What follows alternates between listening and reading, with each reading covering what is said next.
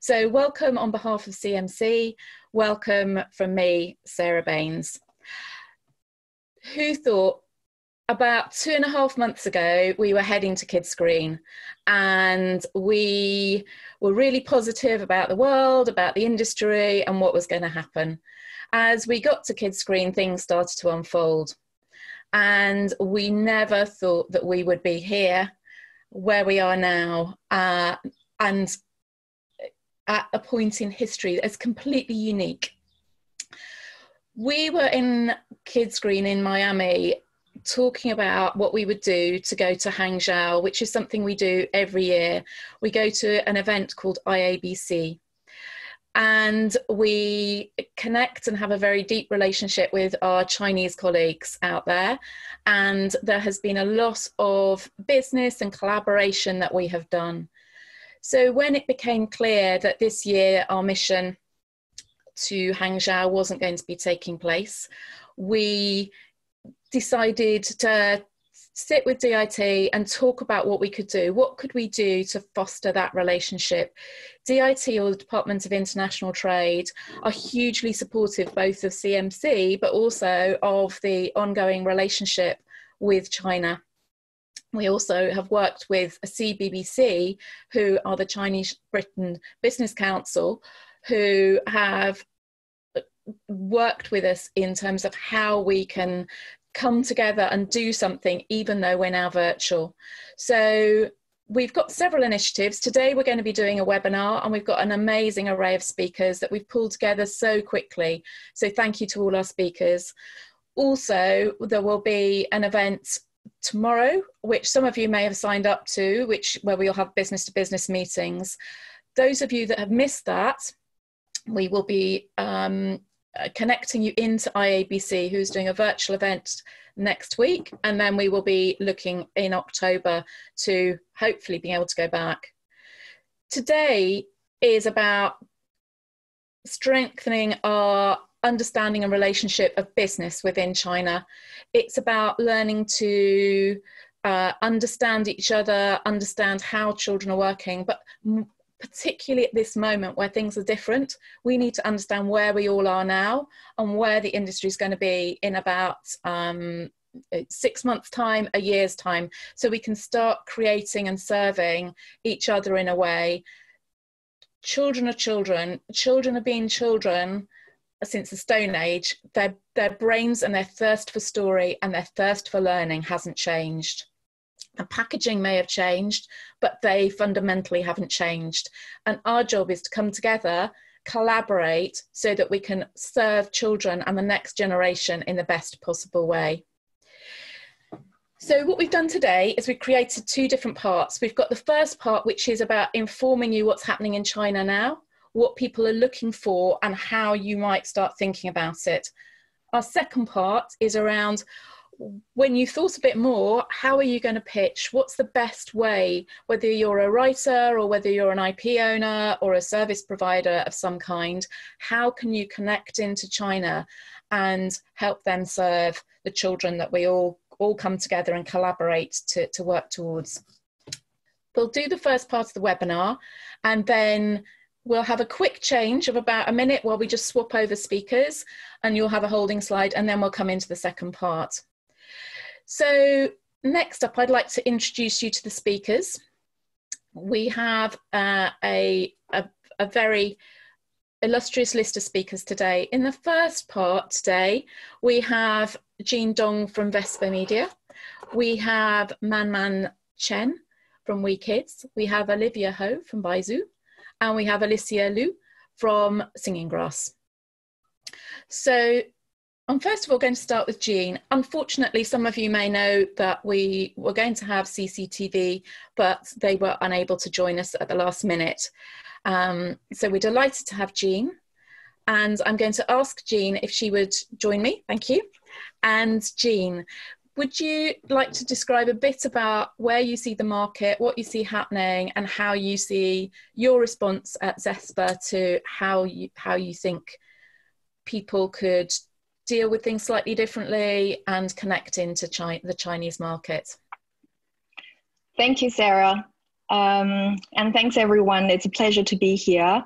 Um, I, am the chairman of Zespa Media group of companies, and we are a production, uh, licensing, and distribution company based in both China and the UK.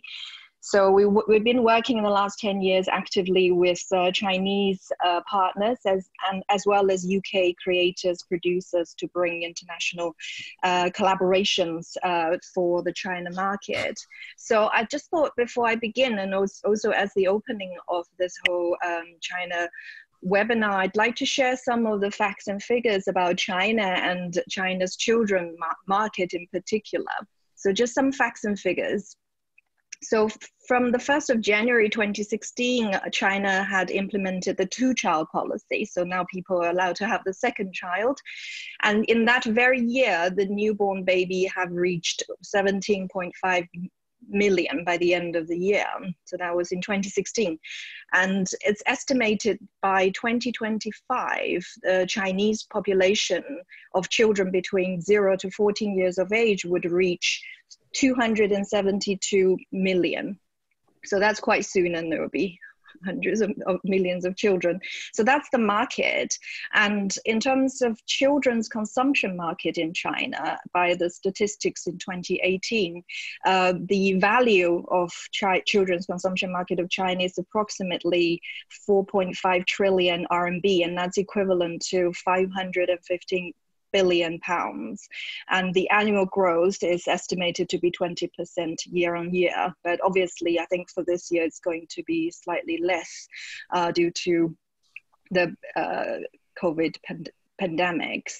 Um, when it comes to children's entertainment consumption market, the figure shows that in 2018, um, the value is estimated at 52.7 billion pounds, and that is um, on an annual growth rate exceeding 30% from 2018 uh, all the way to 2022. So we can see the scale of the market. And when it comes to China's media, uh, media market and in terms of broadcasters, just a quick share of the Chinese, um, there are mainly two kinds of platforms of broadcaster. One is traditional television. So in China, children's TV channels um, altogether enjoying around 800 million viewers per month. So their um, MAU, monthly active users, around 800 million. That's a figure by end of last year. And the top six children's channel in China are CCTV Children, um, Aniworld TV, which is under Hunan uh, broadcasting system, Kaku, uh, Kaku Cartoon, that's under Beijing, Jia Cartoon under Guangdong, and Haha Cartoon and Youman Cartoon. So these are the top six children's channels in China. And they have 800 million viewers per month. And the second type of um, broadcaster is the fast growing streaming platforms. And in China, we, uh, the top three by far are Tencent, iQIYI, and Youku. So, by according to the Brand Trends research report in 2019, the number of MO, um, MAU for Tencent Kids, which is Tencent's dedicated children platform, is around 457 million. Uh, paid subscribers, 120 million. Uh, Kids has uh, 455 million paid subscribers 100 million and Youku Kids have 280 million with paid subscribers 140 million. So that's a landscape of China in terms of the kind of broadcasters and our media market. So what's popular? So far, I think we we have it's fair to say that people when it comes to children's content cartoon is by far the most popular content and uh, and ch- chinese cartoon is still taking the lead in terms of popularity um, according to the joint figures of Tencent, Youku, and iQIYI, the number one animation series in China is called Boonie Bear. I'm sure a lot of it, uh, a lot of you are familiar with that series. It's a story of a bear family and their friendship and interaction with the hunter family, uh, local villages and wild animals in the in the forest. So it's extremely popular. Uh, last year they have a joint uh, viewing number of 3.5 billion, uh, roughly from the top three streamers. Um, that's Chinese domestic cartoon and uh, Peppa Pig is still uh, remaining the most popular international cartoon, and uh, the joint view, uh, viewership last year was about uh, above two billion in China. So so animation is by far the most popular content for children in China. Um, therefore, we are, I mean, in terms of what we are looking for, we are looking for good international, when it comes to international market and UK in particular, we're looking for good children's IP in the cartoon space. And there are two kinds that we're looking for. One is existing IP that's already been aired um, liked. Um, and it could be old, I mean, it could be a little outdated, but we're happy to look at it and revive it. We actually have uh, investors giving us a wish list of the kind of IP they are after, and they're probably no longer on air, but they're good uh, with sound stories, good characters. So that's the first kind, established IP.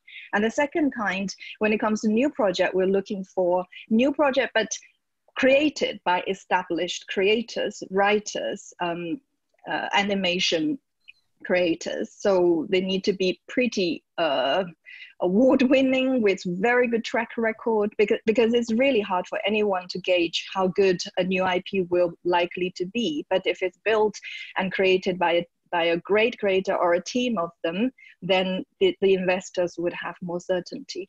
Um, and that's what we do at Zespa. We're primarily a production company with our independent production house in Beijing, and we produce primarily primetime shows for Chinese TV and online broadcasters.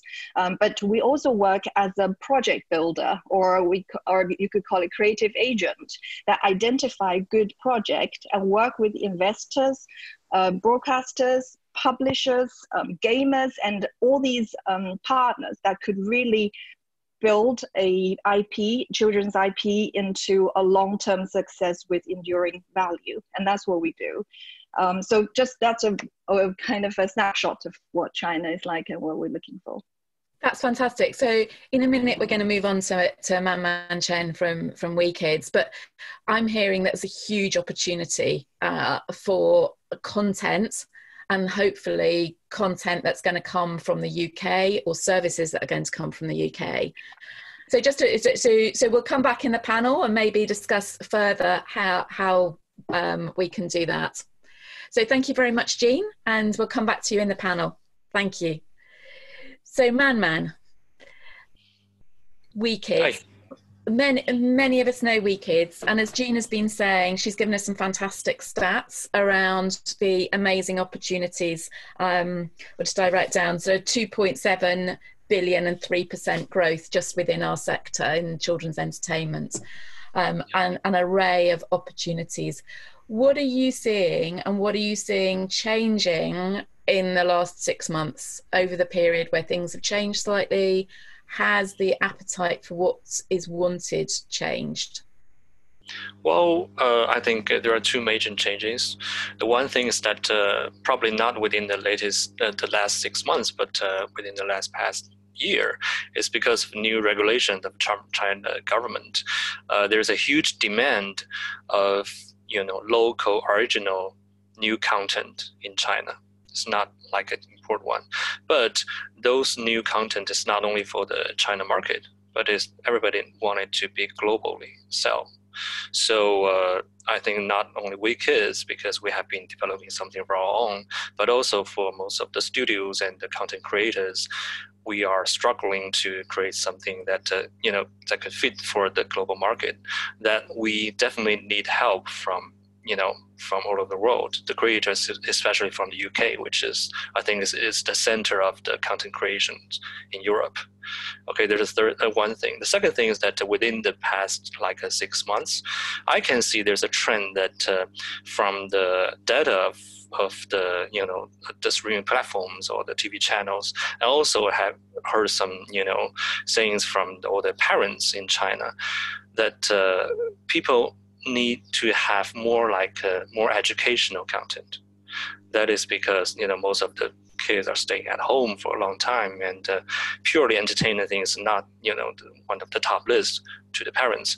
But on saying that, it's not to say that uh, you know we need some content that's purely 100% educational, but how to we make it you know educational content into a fun stories.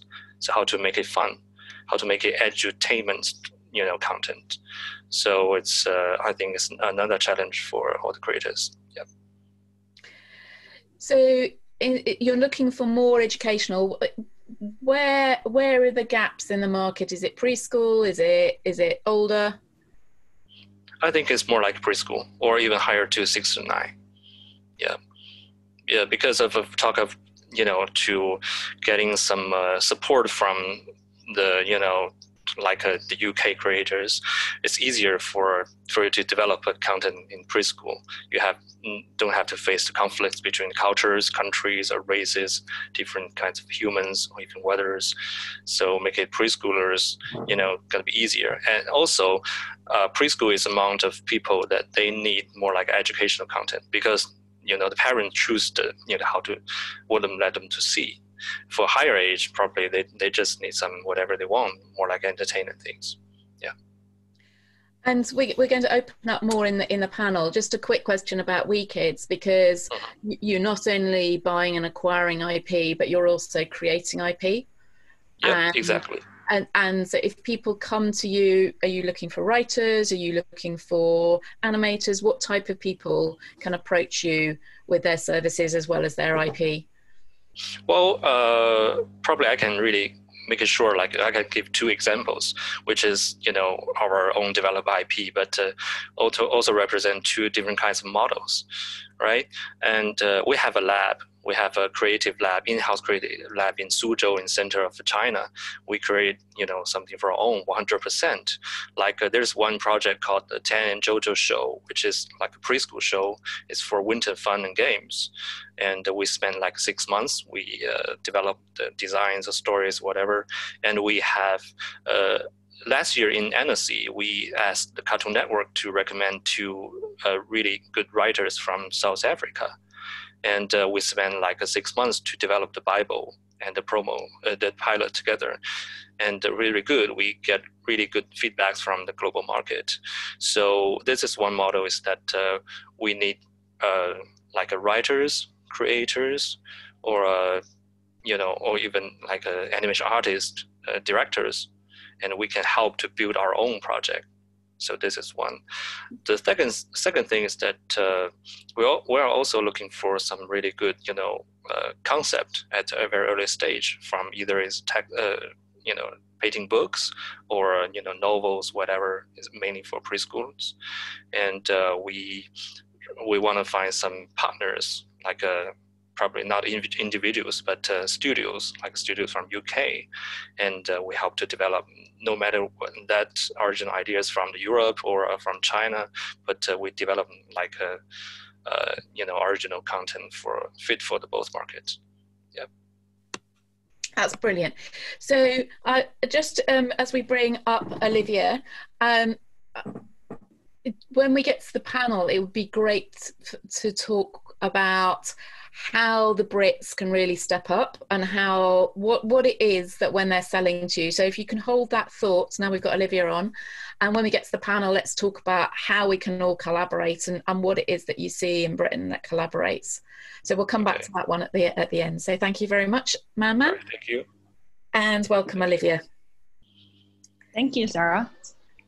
So, so quick intro of myself. Yes. So my name is Olivia Hao, and I'm the co-founder and chief creative officer for Baozou. Uh, so for for our international friends on the call, uh, uh, like our famous uh, work was probably Next Gen, the animated feature that lives on Netflix right now. It was uh, it was when, when it was released on Netflix. It was the biggest um, uh, family uh, animation on Netflix that weekend. So very proud of what we did, and it was uh, we got a theatrical release in China by Alibaba Pictures and Wanda Pictures. Um, and uh, in the last two years, what we've seen was uh, a, a, crazy drastic change in the whole entertainment land, landscape in China. And uh, especially for movies. we uh, the movie industry is basically wiped out this year. So for our new pro- upcoming uh, feature projects, the only thing we can do is to just keep writing, uh, just finesse the script. The, the, script can never get better. um, so uh, until a point when it all comes back up again, then then we roll into production. But on the other hand, we are also seeing growing demand for um, TV series, like kids' TV series. Um, and what we do, uh, uh, people are very cautious right now. People are very scared to to put up money to new ideas right now. That's why if if you're working on a new IPs, uh, a new story, a new set of characters, it will take months, probably years of pitching to get get it sold. Um, so, and that's what we've been trying in the last two years as well. And I want to share my screen very quickly. So uh, this is one of our shows that we're working on right now with, uh, it's a Chinese Canadian co-production. Um, so it's basically the, the, the blood and tears of our experience in the Chinese and global market in the last 10 years and how we consider an IP so this particular show is, is, is based a center around a TV show. So that's the first thing that we'll be producing. And then you, if you see the second layer of second ring around it, these are the immediate uh, uh, uh, sectors that we can tap into to generate cash flow. And then there's the outer layer. So for this show in particular, and it's funny that Manman mentioned education, so maybe we can have a chat after this. So for this particular show, it's because we've been pitching at film festivals, we've been pitching to uh, streaming platforms. It's very hard for a new IP to stand out. So we thought, okay, using our experience in making shows and making original content for the last 10 years, what can we do? What can we do to make it stand out?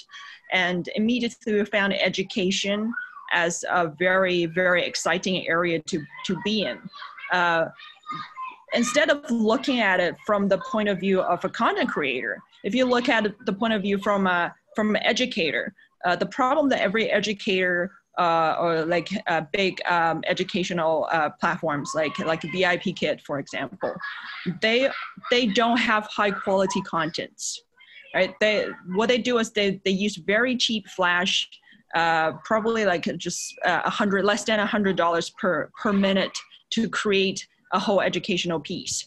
That's their budget, and it's very easy to up that budget. And it's very easy to to to get them to to uh, to realize, okay, this is, so there are more ways to uh, make education fun. So this is where we where we started. So we thought, okay, so we gonna we, instead of just putting uh, education in there as like like a label, we want a proper educational aspect to the show. But the show itself, because it's only seven minutes per episode, there, there aren't enough educational material you can put in there. So that got us thinking like, okay, how can we base our IP around the show and then build the rest up? Um, so, th- so we, then we started looking at working with partners, working working on our language program, working on our STEAM education program, and build and then reverse engineer that those elements into the show. Whatever we can accommodate in the show, we put it in there but the show itself has to be standalone and, and uh, entertaining. So, so the, this is this is our first uh, uh, TV development that we can break uh, the international market as well as the Chinese market, and and then around that are stuff that we've done in the past, and and, and you can see in the lines like what what what these individual uh, module mean, to, uh, how they affect the other modules um, and in particular so this is where where we look at for other ips right so if you already have an established show established established ip this is how my brain works so i look at the ip and think okay are there merchandising and licensing opportunities that i can immediately jump upon uh, other musical elements that uh, we can we can do a musical release on. So this is basically how we look at an IP and developing an IP. Uh, every IP has a slightly different route. So for this one, the Mimo show is a co-production with a, a Canadian company. Uh, this one in particular was centering around the show. So a lot of so that's where the money will be spent in first. Once the show is developed and uh, distributed, we will we will then then look at the uh, modules in the in the first circle around it. So merchandising and licensing, music, any publications. Then we branch out to bigger stuff. So these are all the things that we do in China at the moment. And we also have an educational partner. Uh, so this is uh, what's special about the show in particular is we're hoping the educational element in the show uh, can make it stand out. But every every IP has a slightly different route uh, of uh, achieving this map. Uh, so for example, we also we we uh, the licensed Rage comic faces. So for those faces, because they are not a story, they're not IPs, right? So what we do is we can build them into like WeChat stickers. Uh, we, we distribute the stickers to every possible uh, platform there is. We had a Rage comic uh, a builder, a strip comic builder on our website. People can come in and create their own comics. And then and then years later well we can now they have merchandising value. Back then back in then 10 years ago that there wasn't a nostalgia factor. So for these these like older emojis older uh, like meme contents then suddenly have a, a nostalgic value right now so they there's a huge uh, merchandising and licensing for the older ips if they were known 20 or 30 years ago and they haven't been really developed. They can either be uh, like it hasn't really continued. They can either be revived or they can come back alive in the form of uh, WeChat stickers.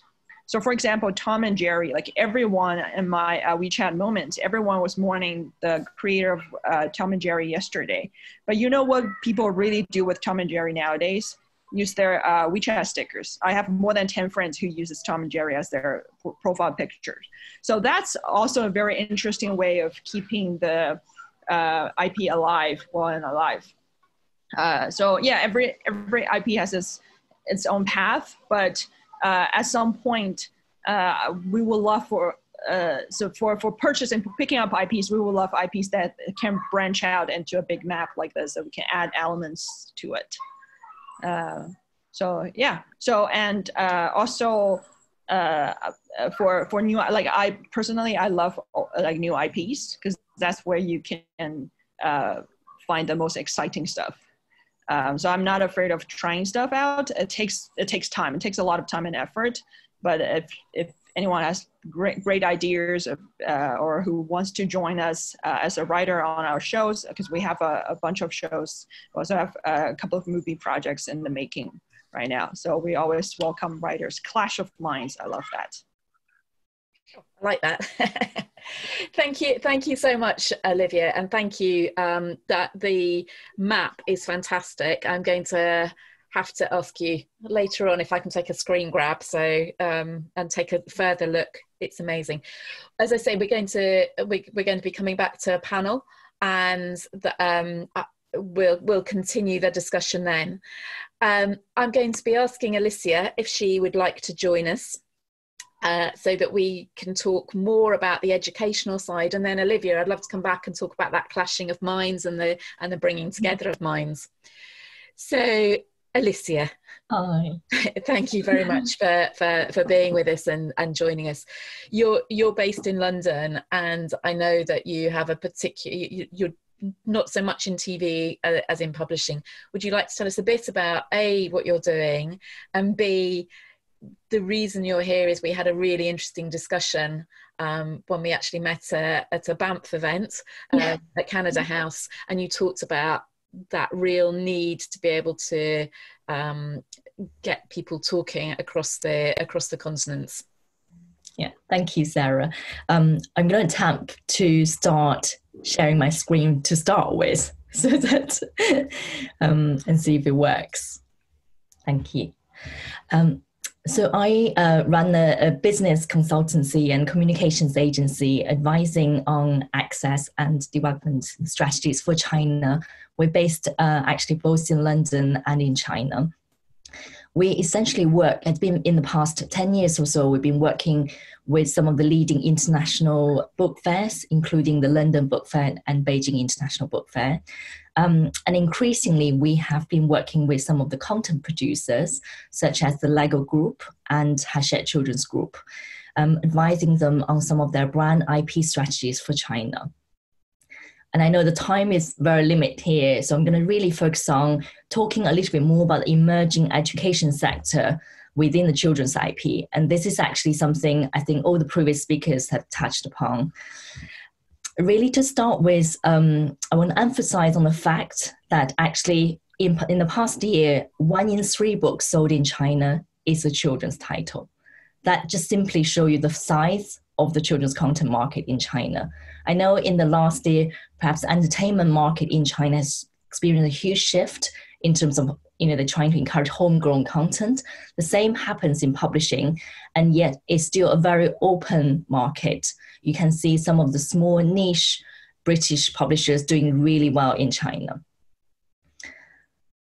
And I guess we have to acknowledge that the COVID 19 has completely reshaped the educational landscape in China in the past four months. What we've seen is the, the very tech savvy Chinese audience already they're going further online, not just for shopping, but also they're looking for entertainment content, also for learning. So you've seen crazy numbers such as DingTalk, which is the online platform backed by Alibaba, has in in the first day in mid February when people back online, back back to virtual school, they've seen 50 million students signed up and over 600,000 teachers signed up. I think in terms of entertainment sense, we've seen some of the very mature IP has doing has been doing really well. I think one of the best sellers during the COVID nineteen in China is Peppa Pig teaches you how to speak English. And I think the final point I want to emphasize is in China now, everything is really media and social is everywhere. I think social media is something in China beyond the, the concept of social media. A, a kids kind of get get to know certain IP or certain content through play with it, actually through video, and watch it, listen to it, and now even read books through video talks. Um, because all the physical bookstores closed, but it's gradually open. But still, you're seeing some of the key opinion leaders talking about certain interesting books through video talks.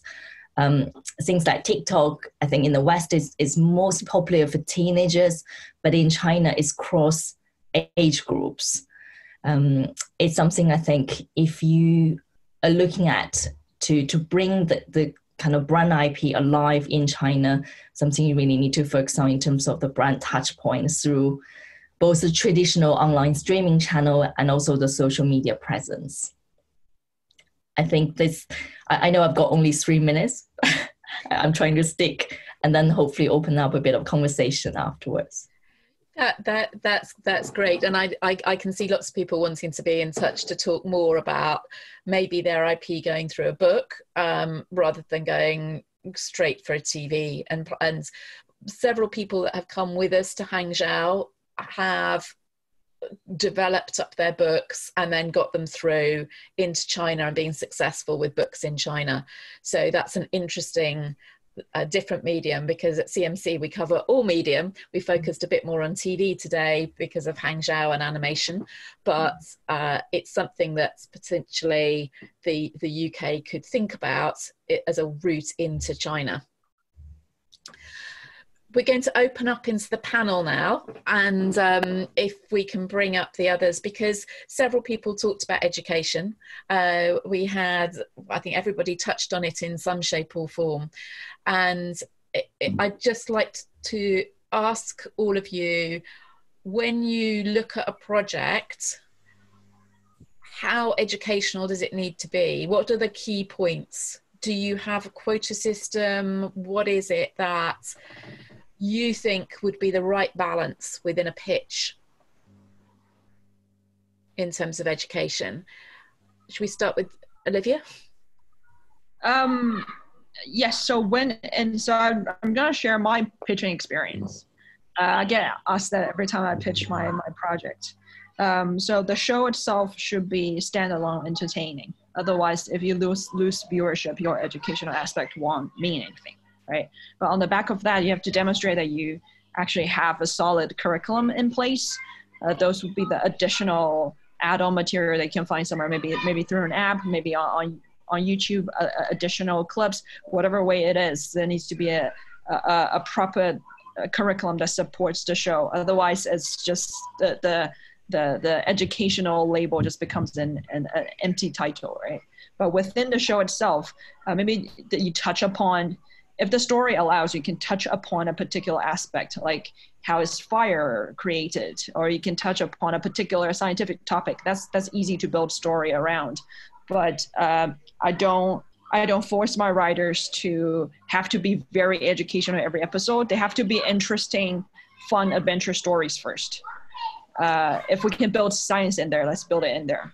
If not, not forced uh, we can always find ways to to teach using the, the material. Maybe maybe you, see a dinosaur in the in, in, in the story but we don't we don't teach you about this particular dinosaur. You have fun you have adventure you get you chase you fight the dinosaur in the show. But then after the show the the add-on material uh, you have to have like a proper uh, bit on uh, dinosaurs. That's that's that's how I pitch my show, and and that can guarantee both uh, proper education and both entertain proper entertainment. Thank you very much. Ma'am, have you got anything you'd like to add to that? Well, actually, I'm uh, 80% you know agree with Olivia, and uh, you know, based on our my experience, that uh, there's kind of a difference between you know in you know the requirement of educational content in China and in other places of the world. Because we have been talking to we work with the international writers we're talking to like the producers in the us and in europe and uh, also some local you know the potential partners that uh, you know for the global market it seems like especially for the preschoolers uh, you don't have to just like olivia said you have to make it fun at the first priority and to, to take secondly whether you can put enough educational content into your stories. But in china there's a demand that's more people need more especially for some parents. I've been asked by a you know the chinese like broadcasters because uh, in our show there's a slightly like one or two minutes for more like educational content and all the like a five or six minutes for fun we can simply divide it like that.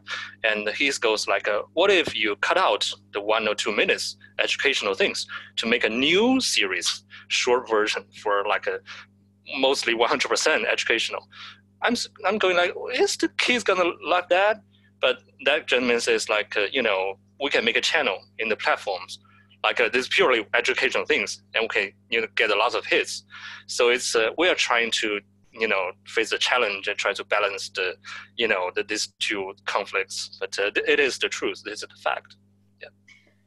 So thank you very much. Just because we're short on time. Jean one of the questions we've had from uh, the audience um, is around how to smaller companies connect into China, whether that's on education or on other things. But if you're a small player, how do you go out and find a team and then connect into China? Uh, yeah, well, I think um, actually uh, one thing I would like to mention that in China, in the media market, things operate slightly differently. Um, there's virtually no broadcaster that kind of actually straightforwardly commission a program. They normally don't commission them. It's really um, companies like Olivia's, uh, Alicia, and and Manman's. They are the ones creating and investing in creating content with international partners. So definitely, um, they're the kind of partners you should work with, either in publishing or animation production or even advertising. Uh, we we've seen a lot of sponsors getting on board to to fund animation. So we uh, we would recommend for them to to be in touch with those and then you can expand into having more partners if it's proven to be a solid ip with potential and and uh, alicia have you got anything Yeah, um, I just want to add on in terms of how, you know how like how how educational you need your content to be. That earlier, um, you know, Olivia and, and Manman all mentioned, um, it kind of break it down, I guess, by different age groups. For preschoolers, uh, what we've seen in publishing is this huge booming of picture books in China. It's something that didn't exist before, and suddenly in the past three years, you know, I think over 60% of the picture books sold in China by international authors. That just shows how much capacity you could be. But moving upwards from school in China starts a bit later compared with the UK, starts not until six.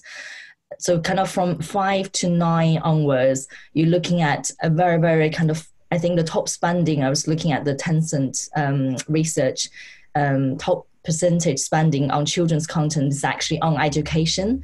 Comparing in the West, I think that age group is more on books. So it's kind of, I think there's a much more straightforward emphasis on education. Um, with last April, I think the Ministry of Education in China has included STEAM as official curriculums for school in terms of compulsory teaching.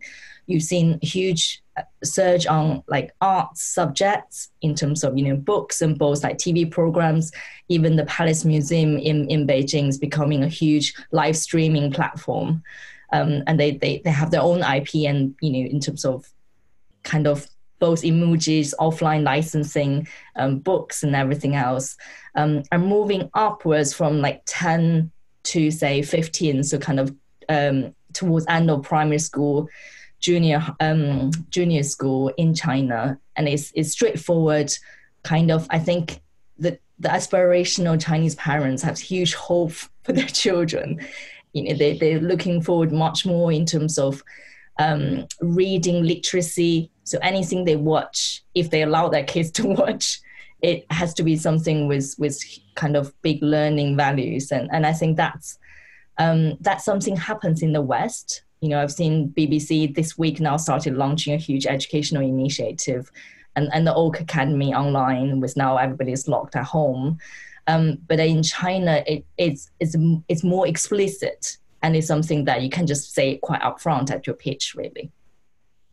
So thank you very much and thank you very much everybody um, I, I, think everybody has a really good picture of that positive change and the fact that there are opportunities that all of you are open for business um, you know, Alicia in terms of, of publishing in in the UK, and again Jean, uh, who is very much looking at how to connect people into China and how to potentially look at getting projects together and helping on that side. So um, you're, you're interested in those, and Olivia you know we didn't get to talk about about the you know the clashing of minds but i'm going to pick up the phone and hopefully maybe do something later in the year with you on on clashing minds. And Manman oh. as uh, you know as as ever um WeKids have been so much part of what we've done. So thank you very much for coming on uh, and sharing what you're doing. And hopefully we'll get you more in the uk and doing more in the uk and some projects up and running we're entering the second part of the webinar today. This session, the last session painted a picture of what was happening within China. This session is to inspire you to get on a pitch. As you may know, there are two different opportunities this week. Uh, one is with uh, the CMC in the one-to-ones, which has now closed. And then next week we have the ability to go into IABC and pitch. We've asked some, some of our uh, China friends to come along and talk about how best to pitch into China, whether you're a writer, whether you're a service provider, whether you've got IP. We're delighted to start off with Qing Fang from Tencent, who is going to talk to us about what Tencent are looking for and give us a bit of the landscape of what Tencent uh, have at the moment and what, what would really make them tick. So, Qing, over to you. Thank you, Sarah. Um, thanks for having me. Great to be here. Um, my name is Qing Fan. I'm the producer at Tencent Video Kids channel, overlooking the international business, including content investment and co-production. Um, I'm going to briefly talk about Tencent Video and Kids Channel. Um, so Tencent Video was established in 2011 as an important part of Tencent's overall strategy on media and entertainment sector. It provides a variety of premium content, including movies, uh, TV series, documentaries, uh, variety shows, sports, and news. Um, by the end of last year, it has 100.6 million subscribers in a single market and uh, remains the leading player in the country. Um, Kids Channel attracts the second largest streaming on Tencent Video, right after drama. Um, our targeted uh, demographic group are under age of 14 years old, with the core uh, under age of 10 years old. We started to co-produce with domestic animation studios for the original content from 2016.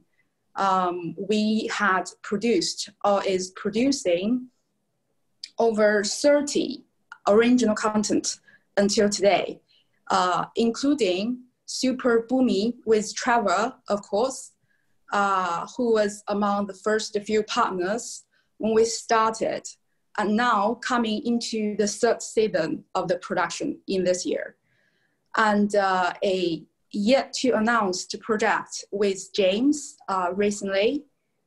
Um, we started to look at the international, uh, you know, uh, in-depth partnership from late 2018 when I joined the team.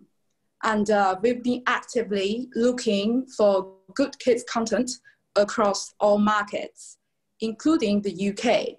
Well, maybe especially the UK, uh, given its um, strong creative tradition and the talent it houses.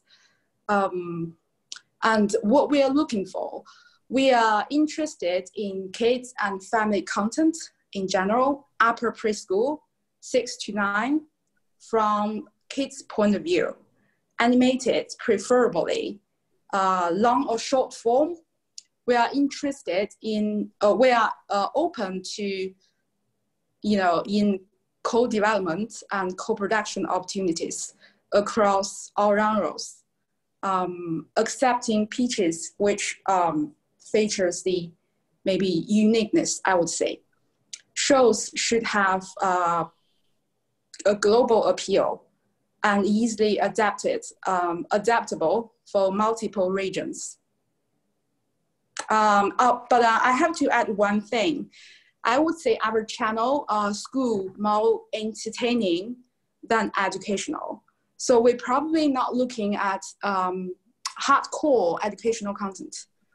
Um, although we do have a dedicated uh, kids streaming product uh, called Tencent Video Kids, which is uh, which features its uh, more uh, educational and uh, interactive functions like DIY or language learning. I hope it helps. But uh, in addition to that, we will generally looking at content that's um, school more entertaining, I would say. And how do you like people to pitch to you? Uh, well, feel free to send to us. I mean, we we will be. I mean, we'll be basically appearing in all key markets, if, if not this year. I mean, um, well, uh, and if not in the market, uh, feel free to send your development materials, preferably uh, with Bible, one or two scripts at least, and uh, a teaser. If people want to just send you a one pager, does that just to say, is this something you might be interested in? Is that, or do you want the, the, the whole worked up project each time? We want to read scripts, maybe at least one or two. That'll be better rather than, you know, uh, I would say, a, a single page. That's good. And are you also looking for service providers? So are you looking for people that you can pair up with with companies that or an IP that you found in China? So writers or animators? Um, yes, we do, but uh, probably not at the early stages um, because at the moment, um, uh, I mean, for our original content, I mean, like uh, a hundred percent uh, produced by Tencent uh, Video Kids channel, we, we surely will look at service uh, providers. But uh, right now, I think we we we uh, we are more looking at the creative, uh, you know, the early creative ideas. We we we will. I mean, we we do look at all the you know, uh, service studios, our creative talents to maybe to work for, uh, how to say, Tencent Productions, Tencent uh, 100% produce content. Mm-hmm. So you, you're you're willing to take uh, pitches and, and people get in contact with you if there's if there's service providers as well if they've got scripts that they've they've done before that they can demonstrate their craft to you um, that yeah. best. Yeah, we do. We do looking, uh, you know, looking forward to work with all the creative creative uh, talents, including the service studio, of course, um, for high quality productions. And what what type of shows work well for you? Um, again, uh, I'm saying like we accept pitches mm-hmm. um, across all genres. Um, not as long as it's not hardcore uh, educational. Um, it's okay if it's educational. Um, I mean, uh, edutainment. I mean, um, so um, I wouldn't say there is a particularly specific type of shows. Okay. No, so, so, so, so, you're, you're, you, you haven't got a, a, a um, specific target, which means that people can feel free to send things in if they've got that, that lightness about them. Whether they've got education uh, behind them, it's a lightness and, and yeah. fun yeah but i do i do can add something uh, maybe it will be helpful. Um, it's it's uh, have to say um, right now it's a little competitive for uh, preschool preschool content mm-hmm. at our platform but uh, again i guess it's the case for pretty much all the kids content uh, platforms i mean. Uh, for six to nine it's not that competitive if it would be helpful but uh, again, we, we tend not to exclude an, any good content mm-hmm. for either preschool or six to nine. It's when you see something amazing, you'll make room for it.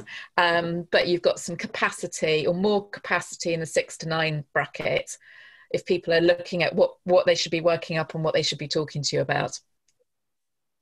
Um, I wouldn't name very specifically, but uh, um, again, I think it's good if uh, the show uh, we we we value the uniqueness very much. Uh, you know, from the uh, being a storytelling or graphic design, it's like something um, you've never seen before, and when you say it, you just you know have this um, idea of want to you know um, read more or or have it on your platform. Um, I would say um, we've always want to uh, trying to lift up a little of our demographic uh, targeted uh, age group. So uh, it would be helpful uh, if we can say some like wonderful shows for six to nine or uh, or even you know six to nine plus. I've got a quick question in the Q and A, which is how does Tencent feel about comedy? Comedy with kids? We welcome comedy. Mm-hmm. Uh, you know, um, uh, uh, um, as long as it's not too dialogue driven. because that might be a little, uh, you know, uh, lost in translation issues, I would say. Um, yeah, I mean, other than that, we, we welcome the comedies. That's brilliant. And um, we may come back to this question in the in the panel because I'm about to bring in Trevor. But somebody's asking about teenagers, which I'm sure will cut across everybody. But do you have a, a, any need for programs for teenagers? Um, our targeted uh, teenagers is a little um, over, but uh, although I'm saying like our core audience are under age of 10 years old, but uh, start from this year, we do uh, started to looking at um, maybe live actions, uh, if that could lift a little, uh, you know, age-wise.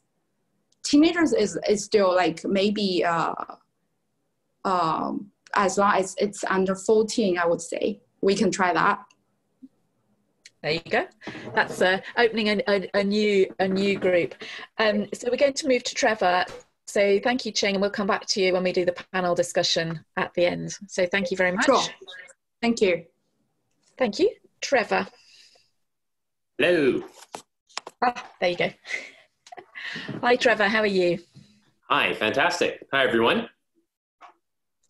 So we've got a huge amount of participants who many of whom know you but for those that don't do you want to do a quick intro and then it would be great if you can just give us some insight as somebody that has come while you were born in China, you then went to, to Canada, and then you've gone back and set up two studios in China. So you're very much one of our people that bridges the gap, who understands what pitching might be like from a a, a European perspective, because we have others, not just UK people on this call, and how how we can take that and make it resonate within the Chinese market. Because this call's about let's get some business done. sure. Yes. Well, uh, I'm an author and illustrator. I started in children's books, uh, and uh, I founded my company Up Studios to create original IP for the Chinese market and the global market.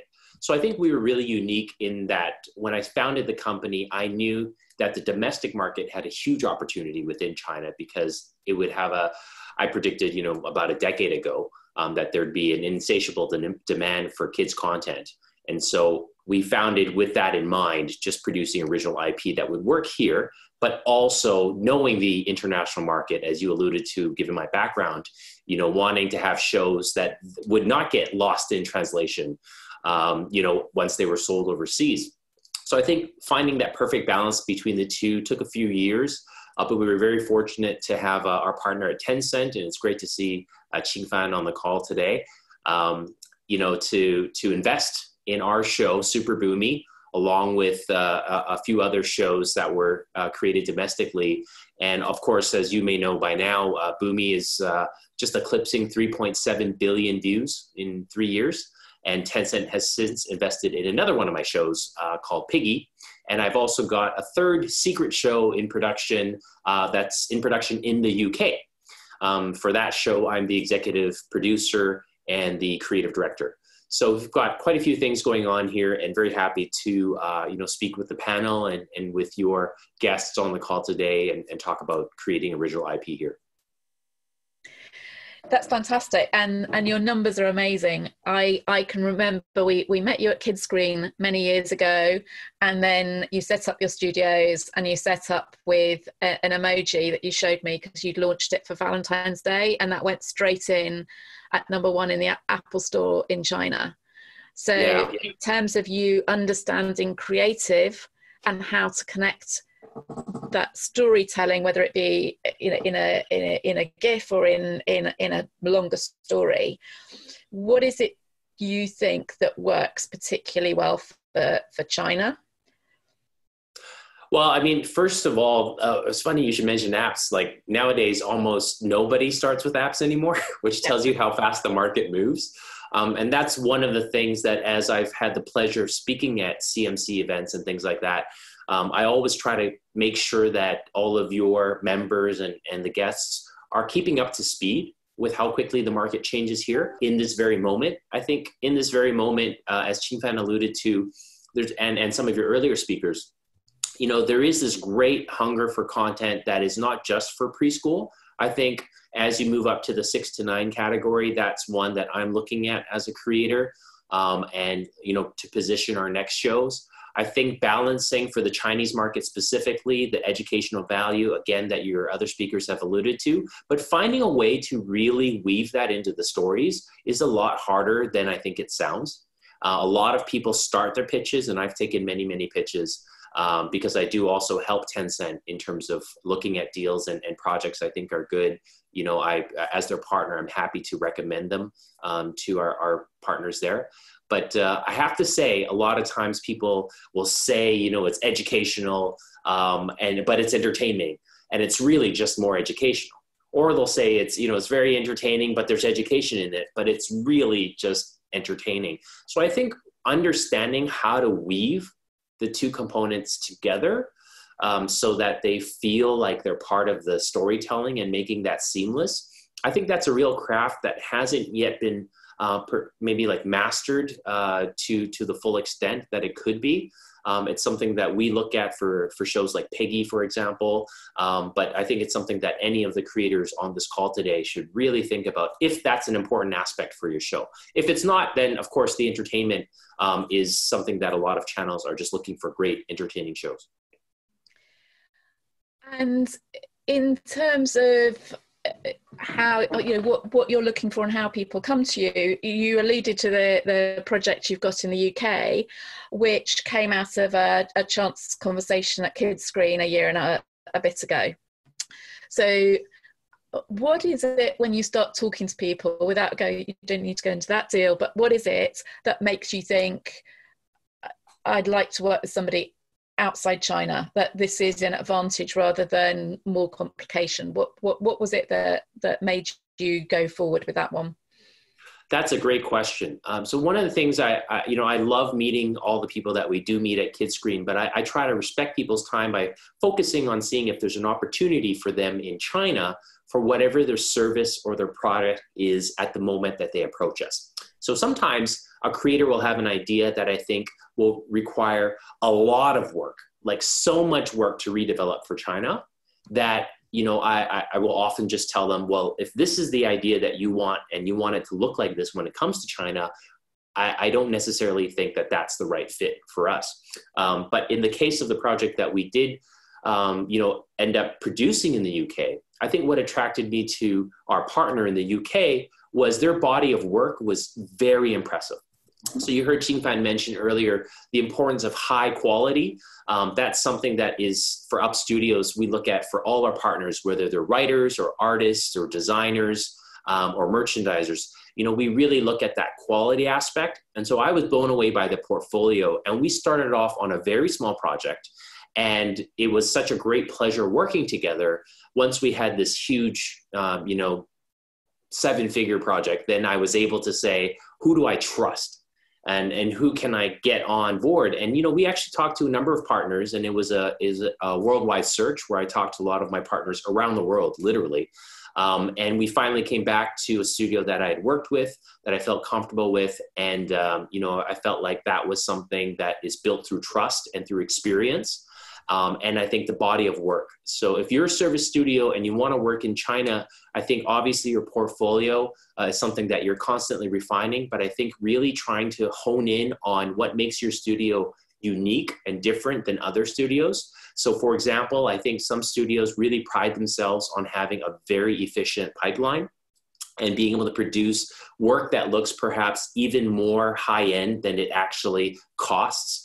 Um, and then other studios really are strong in design. So they create really wonderful characters that the minute you see them, you know, you don't forget them. And, so I think that's sort of a, a, different angle that you can look at. As a writer, um, I think really focusing on what makes your writing really fantastic for the Chinese market. Um, and then sending those samples only, I would say. Um, you know, typically if you're getting a chance to show it to a platform, they've got limited time and a lot of people knocking on their doors. So I think hand picking a couple of your writing samples that you think would work in China because you've done the research, I think goes a long way. Um, so I think those are just a few things off the top of my head. So we're going to. I'm going to um, bring in James in a minute, and when we get to, to the panel, there, there, there's quite a few questions coming through, um, and one that I'll I'll leave you thinking about. We need to come back to is about singing and songs in preschool shows.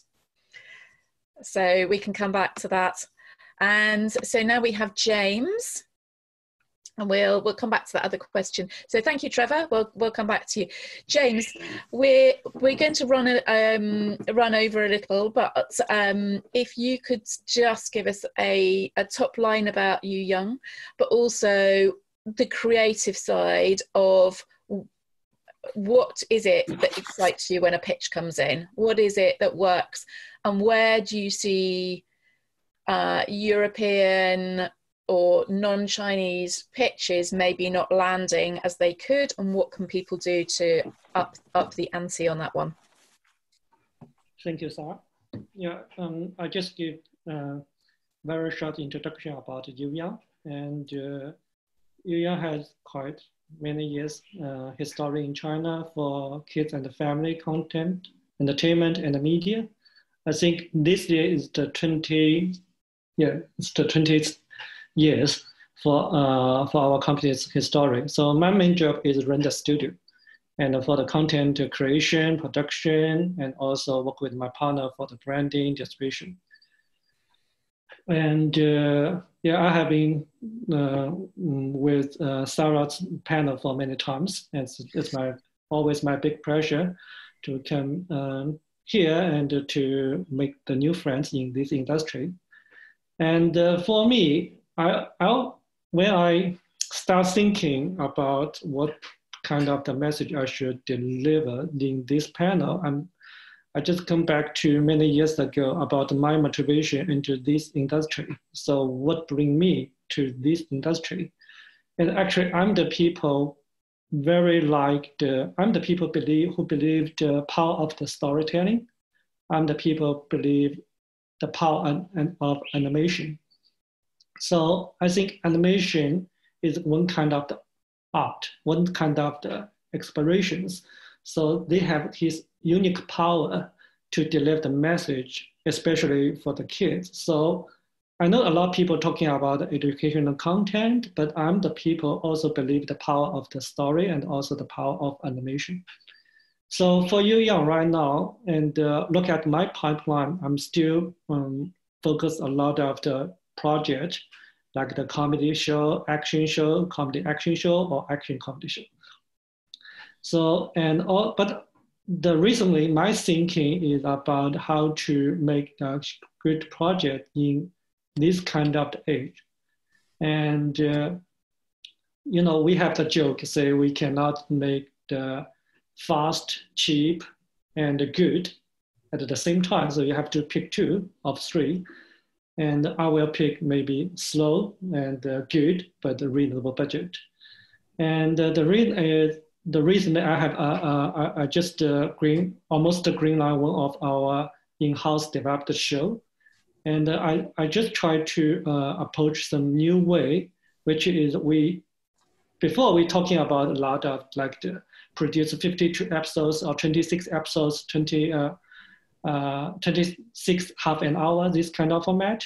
But I think right now I'm to try some new formula. Just uh, I won't produce many, many episodes. I will produce few episodes, but the, every quality of episodes will be very good. And they even have the different kind of the art style. And, but I was thinking, talking with my partner, who's in charge of the branding and find a way to do the branding at the beginning, even before we launch the show.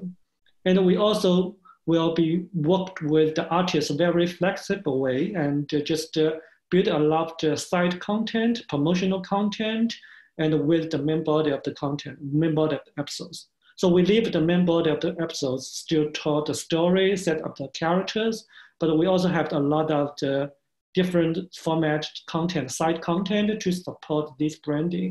And the build branding will be my goal. So I, I think it's something I'm thinking and I'm trying right now.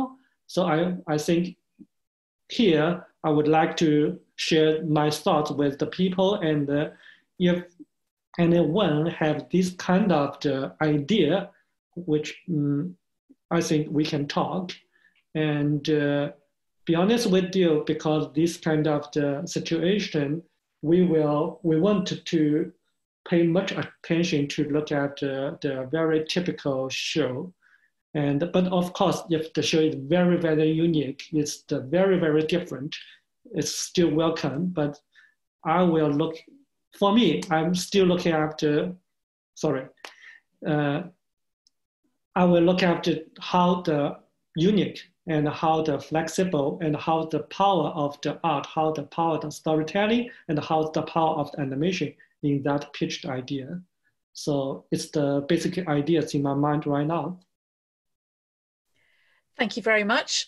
Um, I, I, think we'll we'll come back at the end, but uh, um, but while we while we wait for Simon to come up, um, in terms of meeting people, as you say, you're you're very much part of the CMC family. You're at a lot of the markets, and you're accessible yeah, I we were recalling at the beginning uh, before we went on air of uh, you know a project which is now live where we started off sitting on cardboard stools in Hangzhou with a British broadcaster and you, and that's ended up with a project. So it is about relationship building. It does take time. Yes. We intended that conversation to be a pitch either way. It was about a meeting and a growing uh, relationship. Yes. So, um, how, my question to you, maybe we will hold this one for the for the panel, is how are we going to do that more virtually? And hopefully we'll all be back in Hangzhou soon. But while we wait for Hangzhou to come back online, what can we do? Okay. So thank you very much, James. Simon, thank you very much indeed for joining us. Um, we've known each other for many years and when we met in Kidscreen earlier in the year you explained that you were now working um, with a chinese company and we talked a bit about how people might pitch what they might do and we'd love you to share a bit about you and what brings you to the table and then a bit about how you think people can create projects that are going to land within the chinese market and not necessarily just in TV?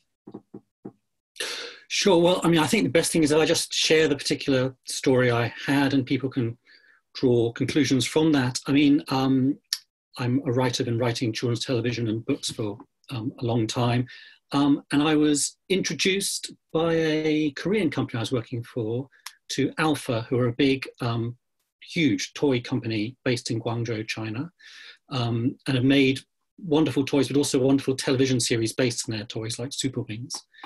Um, and they got in touch with me asking me to meet in London and said they were looking for a science fiction adventure comedy show um, for six to 10 year olds. And I had an idea which I hadn't shown to anyone, but which I was interested in working on, which I shared with them. Um, very briefly, the idea is called Battle of the Bugs, and it's about um, robot insects who invade the world and children who become bug like to attack them back.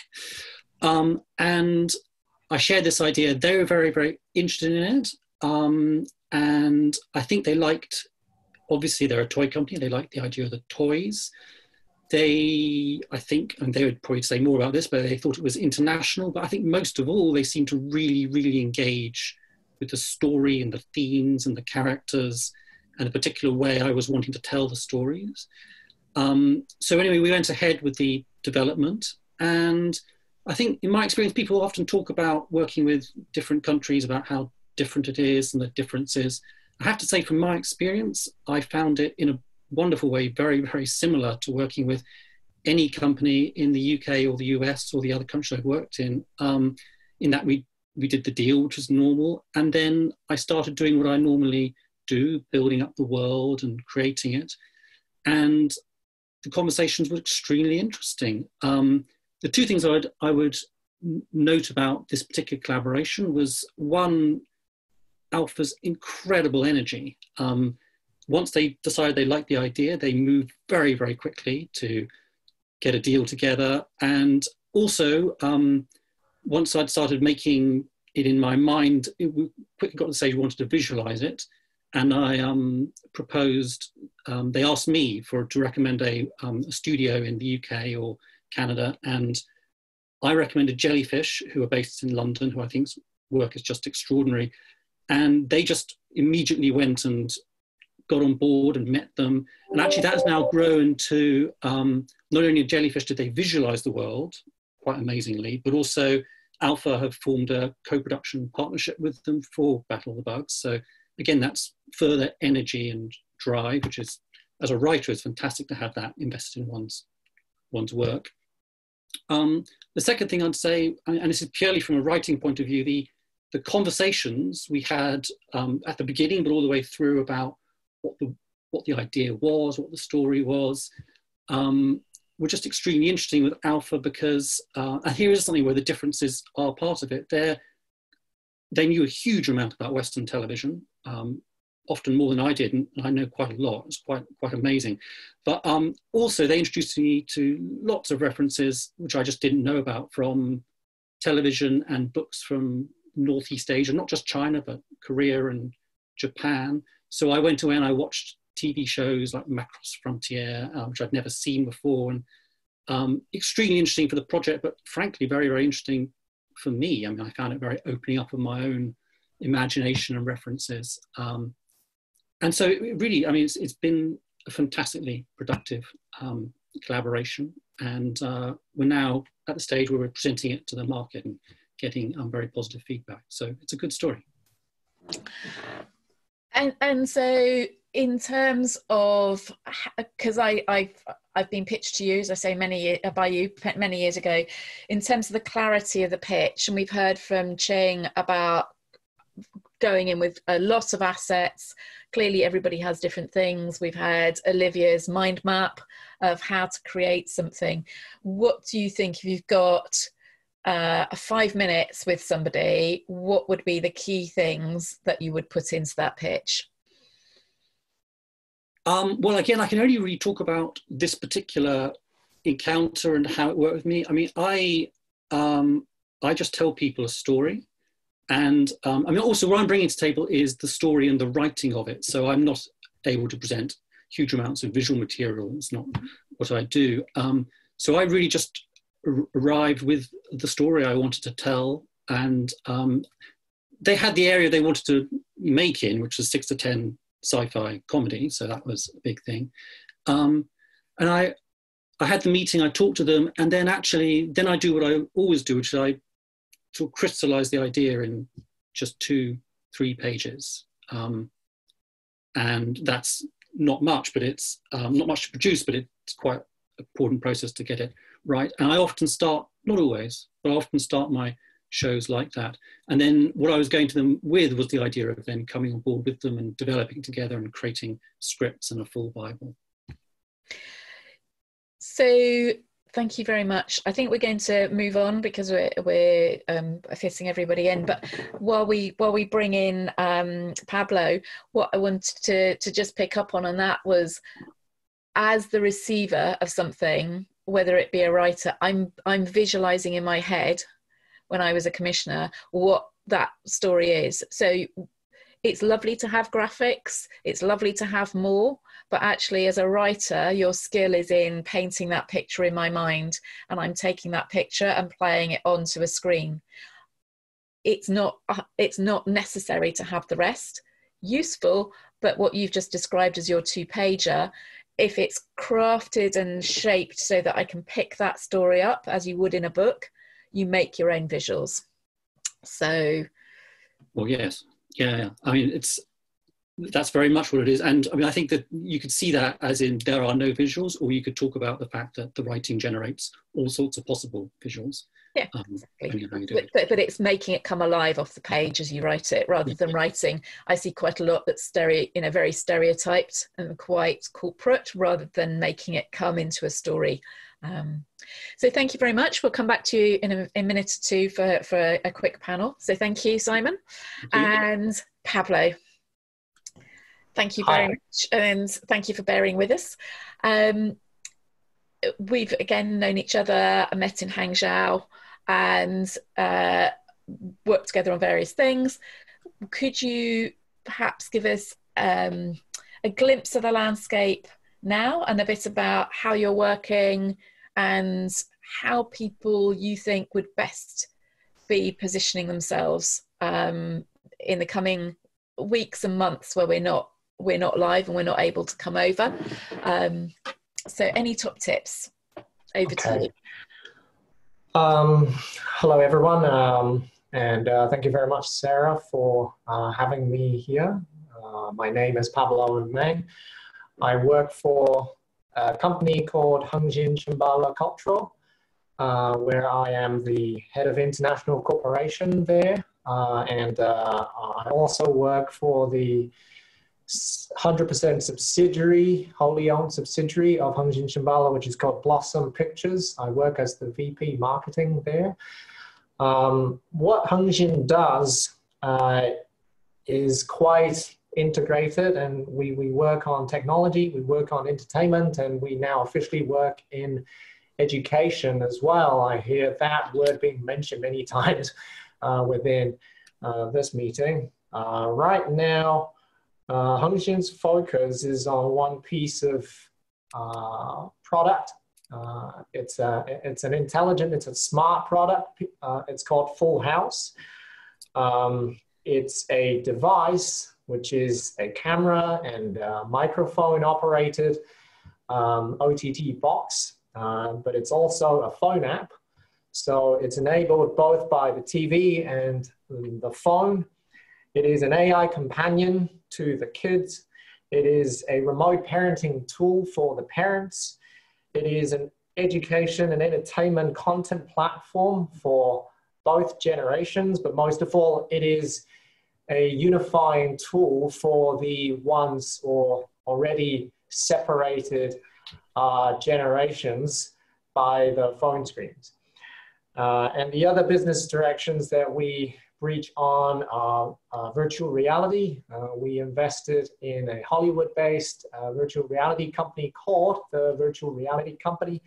Uh, they have uh, titles like Godzilla versus King Kong and Jurassic World in production or in market.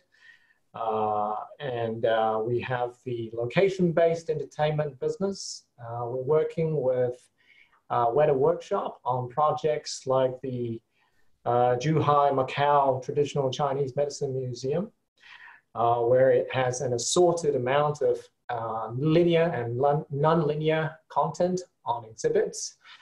Uh, and we also develop original IPs uh, with uh, overseas partner New Zealand-based uh, Pukeko Pictures, where we co-produced two preschool shows. one is called The Cadets and the other is called the Book Hungry Bears, uh, both distributed across the world uh, and in China. Uh, the, well, I co-produced on both of these shows. So these are the many things that, that we do. Um, and um, not me there, Sarah. I, I, I, guess I just put out a lot um, on the table. Uh, but um, in terms of virtually working, uh, I guess right now, uh, we're doing that a lot uh, with our existing partners, um, both from uh, a, client and a service providing uh, kind of scenario, but also a uh, co-producer, co-producer kind of scenario. we convene meetings like this almost every four or five hours these days. But what it is, is that I, I, I generally find things that are uh, different to a face-to-face meeting uh, or a phone call is that the communication is very broken down into um, chunks uh, of monologues. You can't really have uh, dialogues with multiple people. Um, speaking all at the same time because that's just how Zoom and Skype and, and WeChat work. Uh, that's how you optimize um, voice transmission, voice data transmission. And believe it or not, Hengxin used to be um, a tech uh, solution provider for China Mobile on that. And um, what that means is that you have to be very, very, very prepared. Um, you have to you have to have a very um, formally generate uh, formally established agenda, and you got to stick to that. And everyone has to know exactly what they're talking about. Otherwise, it'll easily easily spin into uh, meaningless um, conversations that really slow everyone down. And this is the one very, I guess, um, impression that I've had uh, with um, working within the COVID 19 times. Yeah. It's getting that balance, and we'll, we'll open it out in a minute to the to the panel. But it's getting that balance between being too clipped and too formal, and trying to get everybody on track, um, and and the format has changed as we've discovered today you know how you how you bring people in and out what you do so that you you have people focused. I just want to just very there's two things. Um, one that comes to mind from what you've just said is we had the wonderful Martin from Pukeko who was on our panel uh, at CMC last year. And one of the things he talked about was how he comes from New Zealand and he works with you and how they'd had you know the mindset is slightly different in terms of being a service provider and as an as a a nation they produce things they they create things but they also work in a slightly different way as co-producers. How would you say that uh, that comes across? Uh, I'm sorry, are you referring to the different sort of creative cultures between the countries or? On, on the on on the panel when he was talking he was talking about um, perhaps not throwing all your creative juices in so that there became too much tension. He was talking about how you have to have a mindset that is about how do we take this project forward together and more as a team project rather than somebody trying to pull it in one way or the other way. And that, yeah. that he felt had changed yeah. and that working with with the teams in China had had developed into very much a team team players. Yeah, I, I guess um, I felt that a lot. Uh, I felt that he he was um, kind of trying to remain patient, and he, he actually has a lot in his thoughts, but he's just holding them, holding them, holding them, trying to find the best way to convey them. Uh, I guess that is one awareness to be borne in mind all the time when you have co-producers on board. And especially they're not just capital partners. They are your actual creative partners. Um, and that's why you also got to be very very cautious in terms of choosing them. Uh, you know once once they're on board uh, you, you, better you better run with that relationship and respect them uh, and yeah so thank you very much. Um, as we as we pull in the panel, I have one question which I I've um, we we've talked about a couple of times, which is about just being aware of cultural differences. And I wonder, uh, we were at the BBC last year and we were talking about Danger Mouse, and you came up with a very good point about Danger Mouse and and China. Do you want to to retell the story? well, um, I, I figured I, I, probably was saying something along the lines around cheese was not the most popular uh, food for kids in China, or at least is not as widely consumed in the West, and that some people either they have uh, a lactose intolerance uh, or that they just hate the smell. But um, it, it just doesn't really have that same context when it's being referred in a comedic uh, context uh, in a story. I guess that was what I was referring to. Um, so it, there are a lot of these kind of cultural, I guess, differences or traps uh, to fall into where the Westerners, when they're creating scripts and they're creating the stories, they feel it's so natural, it's just so low hanging fruit to just put it there. But the Chinese would just respond and go, What are you doing there? But before you go to that, there are, these are the kind of case by case analysis that you have to just just really pay close attention and have a cultural, uh, I guess, specialist uh, someone like myself, you know, uh, to be sitting next to your writers and really go through everything. But before you go there, you got to be able to understand that you're remotely in the right circle of, um, you know, you're in the right league, you're in the right range. Your theme, your subject matters, you know, and the whole tone of the story is what your audience wants, is your, what your platform wants. You know, that, that's Yes, I think we were we were just saying, you know, watch the cheese gags because they don't they they, they don't resonate. I've um, because we need to close shortly. Um, I've just we're we're just waiting for Qing, uh, who will hopefully be with us shortly. Something. One of the questions was about songs and whether so very just very quickly, does the panel feel that songs and music works or is important within within programs. Trevor, what, what does music mean for you? Well, I studied music for quite a while, so it's actually very important. Uh, um, and it's something that I've been trying to, people have asked me um, to uh, develop a show that has music as a very strong component. Um, so it's always been in the back of my mind. And, you know, we'll like find, I'll find ways to kind of like flex that a little bit. So I had one episode of Boomy where I had the characters, one of the characters rapping, for example, and you know, uh, one of the characters played violin. I played violin for 11 years, so I kind of weave it in like sort of secretly right now.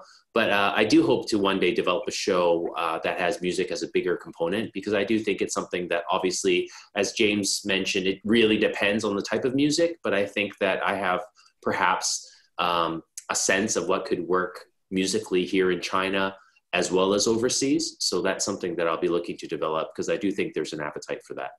Thank you very much. We've not got much time left, so I just two, I uh, just question to Simon and a question to Pablo, and then and then we're going to have to wrap. I'm afraid. Simon, in terms going back to the virtual and how people can can work virtually, have you found that easy, and have you found explaining your story easy? It's very fortunate that the shows I work on are all animated, so everyone's busy at work, sort of fragmented into their little houses and apartments everywhere. Um, yes, I've had quite a few writing meetings and about Battle of the Bugs as well. Um, and you've been doing that for years as well. I, I've seen you going around the world doing writers' rooms. I have done, yes, absolutely, and that's always been virtual. Um, although I have to say, I really like meeting writers and producers face to face, and it's it's difficult. It's difficult, but I think as long as it's an encouragement to become even clearer and even more um, direct in how one communicates across a screen rather than in person. And it, it is doable for a yeah, time. Back to Trevor's point. Um, Pablo, you just very, very briefly, you mentioned your educational product, which I know if it was available in the UK, many people would be would be using. Are you also looking for people with ideas outside pure animation? Uh, yes, actually, um, we've kind of helped. We, we've we kind of held back from uh, buying or acquiring or representing animated series or IPs from overseas for a while, but uh, the doors for pure educational content is still open, and in fact, we've been uh, we've been uh, trying to acquire um, content from like Oxford Press, um, etc., on the uh, preschool learning um, side of things, uh, things like phonics, uh, etc. Obviously, it, it, doesn't have to be linear. That, that's what our product really is for. It could be non-linear, it could be interactive. Thank you very much. I'm so sorry. I'm going to have to cut this short. I could go on. I we could have done a whole webinar with each of you for for ages. So thank you very much. And I'm going to to sum up and um, thank everybody both in this session and the previous session um, as as we we close. So I want as I say, to thank the speakers.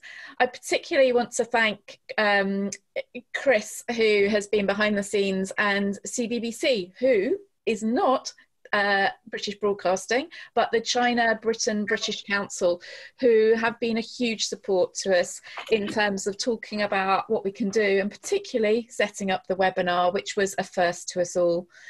Um, an even bigger thanks to DIT, both uh, in in London and in China. We couldn't have done this without them. That we've turned this round from a gem of an idea into something that's happened in two weeks. So thank you so much for everything. Um, and for everybody else, you know, Darren behind the scenes, who's been um, a superstar, as have uh, Lauren, Jackie, Greg, everybody else. So thank you so much to all of you. We'd also like to say that we wouldn't be doing this today without IABC and our friends at CCAF. That we would normally, as I said earlier, be going out to Hangzhou in a group and really immersing ourselves in how we do business with China. We have done great deals while we've been out in China and really em- embraced what what it is that we can do to co-produce, to work together. There are huge business opportunities. As Jean said earlier, there is a huge and growing kids market there. So if we can work together and work out ways of doing that, that would be brilliant. For those that aren't on the meetings this week, you can go online to sign up for next week's virtual IABC meetings, which are going to be held uh, virtually, but from China.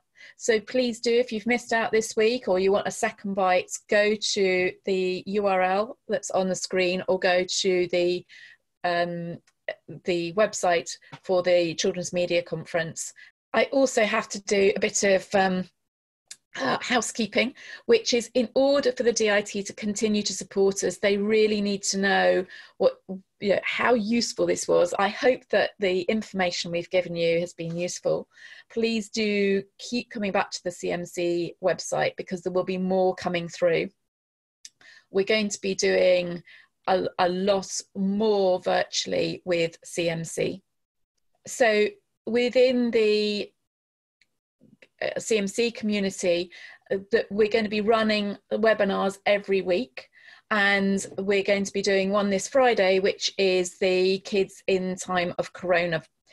That there will be a whole series which again can be accessed through the CMC website. As we close, you will get a survey from the DIT, and we'd be really grateful if you could fill that in. So I'm going to close and let you go all go to your 11 o'clocks thank you so much for bearing with us with a, with um, various things that have happened. But um, you're as important to us, and working with you is is incredibly important to the British economy to get everybody up and running as quickly as we can. And working with China is one opportunity for you. So thank you.